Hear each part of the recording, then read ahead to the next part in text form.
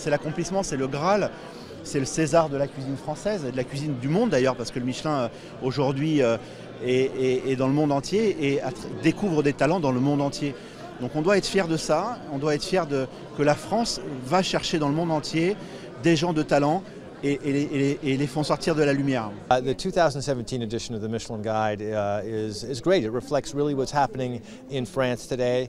Uh, we see uh, great cooking throughout France, whether it's the north, uh, the south, the east, or the west. Uh, this number of stars is a record for new number of stars, and I think it portends well for the future of gastronomy in France.